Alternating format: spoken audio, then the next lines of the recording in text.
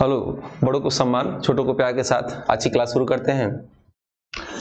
और आज सालवर पेपर जैसे पिछली क्लास में हमने शुरू कराया था 28 नवंबर 2011 की फ़र्स्ट शिफ्ट का था। ये सेकेंड शिफ्ट का पेपर है, जिसको आज हम लोग भी हल करने जा रहे हैं, ठीक है? चलिए देखते हैं, पहला क्वेश्चन है इसमें। देखिए सालोर पेपर क्वेश्चन देखने से 30 से 35 परसेंट आपको आइडिया ऐसे मिल जाएगा कैसे प्रश्न आ रहे हैं। चूँकि अभी हाल में ही पिछले वर्ष हुआ था पेपर ये तो बहुत ज़्यादा अंतर नहीं आएगा। दो तीन साल जब पेपर हुए रहते हैं तो कुछ अंतर आ सकता है। लेकिन तीस पैंतीस परसेंट ऐसा अनुमान लगाया जाता है ये क्वेश्चन उससे क्लियर हो जाते हैं। देखिएगा, किसी नए क्षेत्र में नई प्रजाति का प्रभावी अवस्थापन होना कहलाता है। क्रमिक, शिखर, जैविक और अवस्थापन। तो इसमें आंसर क्या हो जाएगा? अवस्थापन, इकोसिस्ट, ये आंसर सही है, ठीक है? चलिए आते हैं, नेक्स्ट क्वेश्चन देखते हैं हम लोग। क्वेश्चन नंबर दो पे, क्वेश्चन नंबर दो है, वर्तमान में अधिकांश विद्युत का उत्पादन निम्नलिखित में से मुख्यतः किसके उपयोग पर आधारित है? ये पूछ रहा है, भारत में सबसे अधिक ऊर्जा किससे बनाई जाती है? और आपको क्लास में बताया भी गया था, सबसे अधिक ऊर्जा किससे बनाई जाती है? तो वर्तमान में सबसे अधिक ऊर्जा तापीय ऊर्जा, पांसठ परसेंट यानी कोयले से ऊर्जा सबसे अधिक प्राप्त की जाती है, ठीक है? तो इस हिसाब से देखेंगे आंसर क्या है। पहला ऑप्शन दे रखा है कूड़ा कचरा जलाने से, दूसरा जीवाश्म ईंधन जलाने से, तीसरा सौर ऊर्जा से और चौथा पवन ऊर्जा से। तो इसमें जीवाश्म ईंधन क्या हो जाएगा? दूसरा आंसर ये सही हो जाएगा क्लियर है? क्वेश्चन नंबर थ्री पे आते हैं। थ्री है। एक क्वेश्चन नंबर थ्री वर्तमान ही हो गया, ठीक है।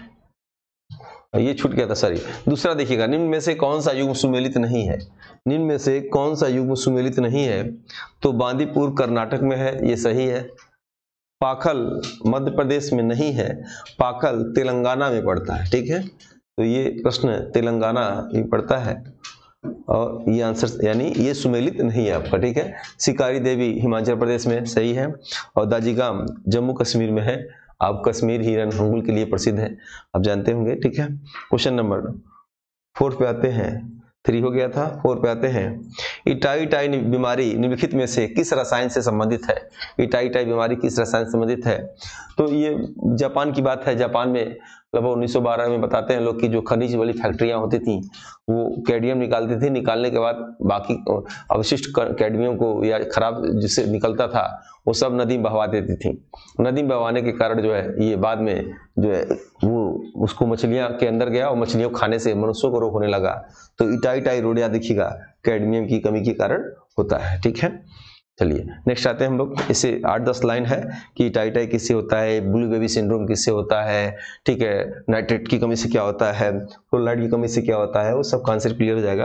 क्वेश्चन नंबर फाइव में भास्काचार्य की कृति लीलावती फारसी में अनुवाद किसने किया? बदायनी ने, अबुल फजर ने, यहया बिन हिंद, सरहिंदी ने, फैजी ने, ठीक है? ये आपको बताना है। भास्करचार्य एक गणितज्ञ थे, इनकी पुत्री का नाम लीलावती था और अपनी पुत्री के नाम पे इन्होंने एक पुस्तक रखा, लीलावती। तो इसको फारसी में अनुवाद फैजी ने किया था। ये आंसर आपका सही हो जाएगा। अब बदायनी, अब्दुल कादिल बदायनी अकबर के समकालीन थे। और ऐसा कहा जाता है कि अब्दुल अकबर ने अब्दुल कादिर बदानी को कहा था कि आप जो है, जितनी जो है हिंदू धर्म की जो पुस्तकें हैं, महत्वपूर्ण, उसको जो है आप अरबी में कन्वर्ट करिए फारसी में कन्वर्ट करिए तो फिर उन्होंने वो करते थे। एक कथन आता है कि, बदायनी कहता है कि अकबर की वजह से मुझे दिन भर हिंदू देवी देवताओं के नाम लिखना पड़ता है क्योंकि उसी कहने पे मैं कन्वर्ट कर रहा हूँ। ठीक है?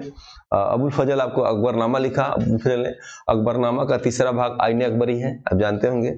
और सरहिंदी ने तारीख फिरोशाही लिखा।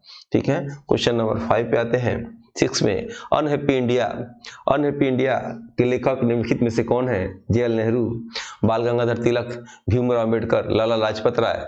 तो लाला लाजपत राय की ये पुस्तक फ़ेमस है, उदास भारत के नाम से भी एग्ज़ाम में पूछा जाता है। उदास भारत या भारत की आत्मा, एक पुस्तक है भारत की आत्मा। उदास भारत अनहैप्पी इंडिया लाला लाजपत राय ने लिखा था। ठीक है?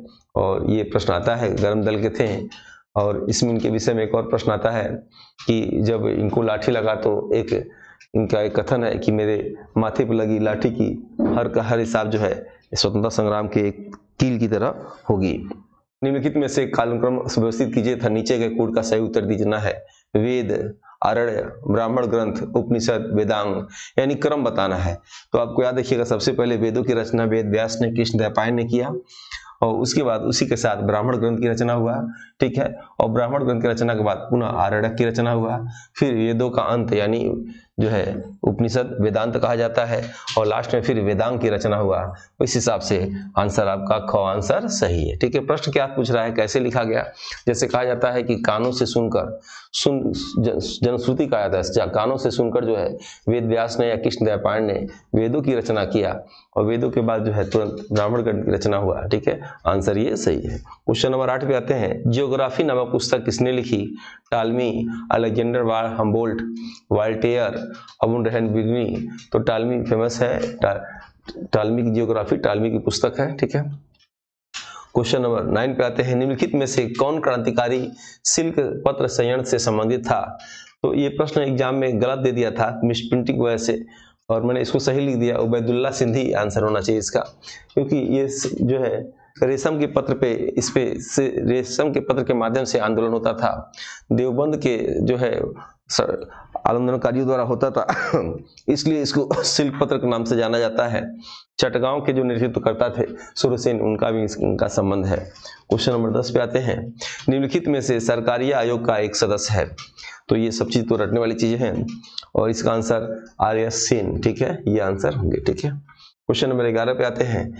ग्रामीण स्वशासन से संबंध, सबसे निचले ग्राम स्तर पर लोकतांत्रिक संगठन को क्या कहा जाता है? ग्राम सभा, ग्राम समिति, ग्राम पंचायत, न्याय पंचायत। तो सबसे निचले सदन को ग्राम पंचायत के नाम से जाना जाता है, ठीक है? बलवंत राय मेहता ने इसको दिया था, आपको मालूम होगा, ठीक है? त्रिस्तरीय पंचायती व्यवस्था। क्वेश्चन नंबर आते हैं, बारह पे, नई रोशनी योजना निम्नलिखित में से किसे संबंधित है? नई रोशनी योजना किससे संबंधित है? क्या ग्रामीण क्षेत्र की महिलाओं से, अल्पसंख्यक महिलाओं से, सामाजिक रूप से पिछड़ी महिलाओं से और मलिन बस्तियों की महिलाओं से? तो नई रोशनी योजना याद रखिएगा, अल्पसंख्यक महिलाओं से इसका संबंध है, ठीक है? क्वेश्चन नंबर तेरह पे, भारत में, भारत को दुनिया का स्वर बुलियन गर्थ किसने कहा? तो ग्रीक ने कहा फारसी ने कहा, रोमन ने कहा, चीनी ने कहा। आंसर होगा इसको, रोमन ने भारत को जो है, दुनिया का स्वर या बुलियन करता कहा, ठीक है? देखिए ऐसे, रोमन से क्या होता था? भारत का पहले रेशम का व्यापार होता था। तो रोमन का सारा सोना जो है गंगा नदी घाटी में आया। दादा भाजी नौरोजी ने बाद में कहा कि भारत की गंगा घाटी का सारा पैसा जो है, टेम्स नदी घाटी में जा रहा है। तो ये रोमन आंसर इसका सही होगा। क्वेश्चन नंबर चौदह पे, निम्न में से कौन पूर्व बैंक में इंपीरियल बैंक ऑफ़ इंडिया के नाम से जाना जाता है? ये सबसे पहले बैंक खुला देखिएगा, bank of Bengal, bank of Bengal की स्थापना हुआ। 1806 में इसकी स्थापना हुआ। फिर बैंक ऑफ़ मुंबई की स्थापना हुआ। 1840 में। फिर बैंक ऑफ़ मद्रास की स्थापना हुआ 1843 में। तीनों बैंक को मिला दिया गया 1921 में और नाम रखा गया इंपीरियल बैंक। क्या नाम रखा गया? इंपीरियल बैंक, ठीक है? बाद में इसको 1955 में दोबारा इसका नाम एसबीआई के नाम से कर दिया गया। तो स्टेट बैंक ऑफ़ इंडिया वाला आंसर क्या होगा? सही होगा, ठीक है? आते हैं क्वेश्चन नंबर पंद्रह पे, वर्ष 2020 तक भारत के कितने पूर्व राष्ट्रपतियों को भारत रत्न प्रदान किया गया है? यानी अभी तक भारत रत्न 2019 में दिया गया है और 19 में तीन लोग को दिया गया। स्वर्गीय प्रणब मुखर्जी राष्ट्रपति थे। नानाजी देशमुख और भूपेन हजारिका। 19 के बाद भारत रत्न अभी तक किसी को दिया नहीं गया है और अभी तक के इतिहास में ये आपको रटने वाली चीज़ें हैं। छह राष्ट्रपति को जो है भारत रत्न पुरस्कार दिया गया है। भारत रत्न पुरस्कार भारत का सबसे बड़ा नागरिक सम्मान पुरस्कार होता है।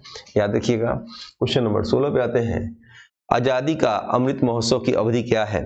15 अगस्त 2022 से 15 अगस्त 2024 तक 12 मार्च 2021 से 15 अगस्त 2023 तक 2 अक्टूबर 2022 से और 26 जनवरी 2023 तक 26 जनवरी 2022 से 15 अगस्त 2023 तक।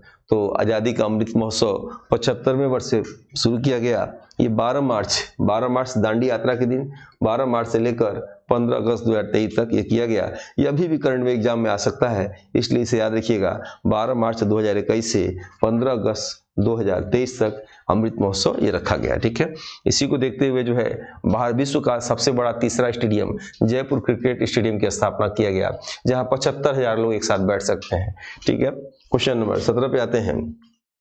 भारत के वित्त मंत्री, एक मिनट, तबियत ठीक नहीं। भारत के वित्त मंत्री के बजट 2021-22 में स्वास्थ्य और आरोग्य के लिए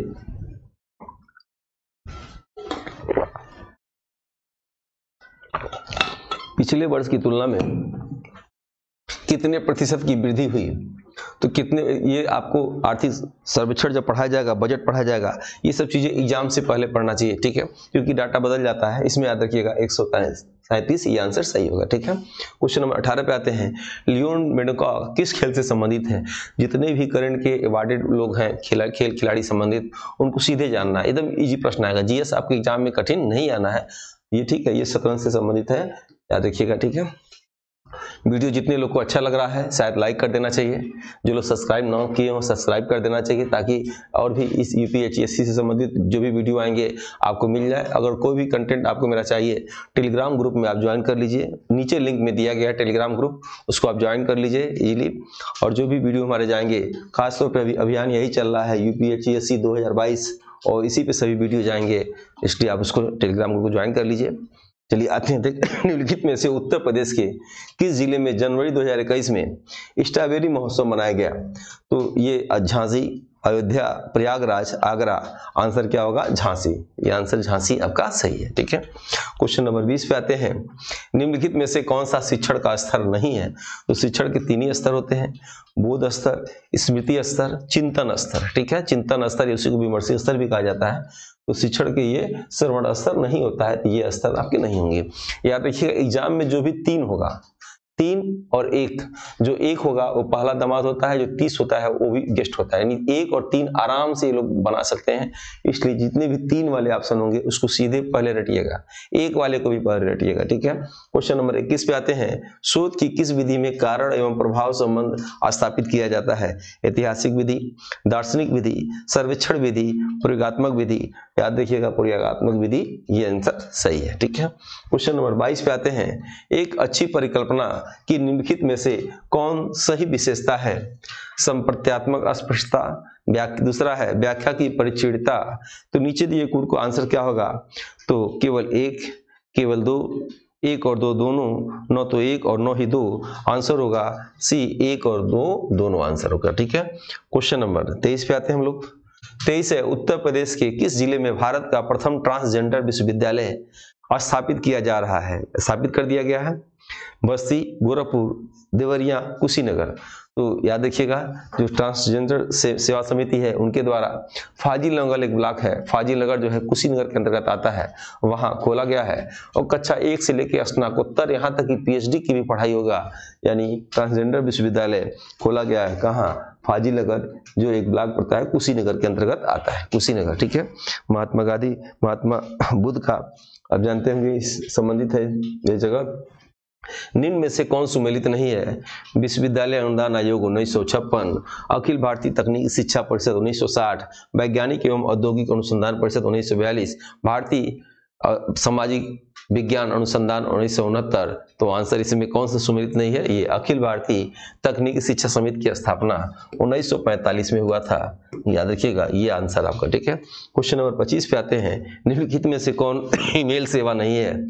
Gmail Outlook Yahoo mail Netscape तो नेट स्केप ये आंसर सही हो जाएगा, ठीक है? क्वेश्चन नंबर 26 पे आते हैं। संगणक या कंप्यूटर के संदर्भ में जेपीईजी फ़ाइल में क्या होता है? केवल ऑडियो, केवल वीडियो, ऑडियो और वीडियो दोनों ग्राफिक्स। तो बताइए इसमें क्या होगा? आंसर क्या होगा इसमें? ग्राफिक्स, ठीक है? ये आंसर सही है। चलिए, अब क्वेश्चन नंबर सत्ताईसवें। बाइनरी नंबर सिस्टम में कितने प्रतीक का प्रयोग होता है? ऑप्शन में है दो, ज़ीरो, एक और तीन। तो याद रखिएगा बाइनरी नंबर सिस्टम में केवल ज़ीरो और एक होता है, यानी दो हो गया तो आंसर क्या होगा? ये आंसर ठीक है? क्वेश्चन नंबर सत्ताईस पे आते हैं। एक पेंटाबाइट निम्नलिखित में से कितने, किसके लगभग बराबर होता है? तो याद रखिएगा एक हज़ार चौबीस टेराबाइट। टेराबाइट बराबर एक पेंटाबाइट, ठीक है? आंसर क्या हो जाएगा? ये आंसर सही हो जाएगा। क्वेश्चन नंबर उनतीस पे आते हैं। इंटरनेट में निम्नलिखित में से कौन सा सर्च इंजन नहीं है? Bing, Google, Yahoo, Windows. तो सर्च इंजन कह रहा है तो सर्च इंजन विंडो नहीं है। बाकी आंसर क्या है? सही है। चलिए, आज का आखिरी प्रश्न है। ईपीडीमियोलॉजी शब्द किससे संबंधित है? महाकाव्यों के अध्ययन से, एपिडर्म के अध्ययन से, सार्वजनिक स्वास्थ्य के अध्ययन से, न्यूट्रिशन के अध्ययन से। तो इसका आंसर हो जाएगा जो है सार्वजनिक स्वास्थ्य के अध्ययन से, ठीक है? क्वेश्चन नंबर जो है तीस का तीसरा आंसर होगा, ठीक है? हम लोग एक टेस्ट सीरीज़ शुरू कर रहे हैं और अगर आपको समझ में आए नीचे सॉफ्टवेयर दिया है, आप उसको इंस्टॉल करिए टेस्ट को देखिए। अच्छा लगे तो उसमें ज्वाइनिंग लीजिए और उसमें पूरा कंप्लीट टेस्ट है। Unit wise unit wise test है और आने वाले दिनों में अभी एक पर डे टेस्ट होने जा रहा है। उसकी तैयारी हो रही है, ठीक है?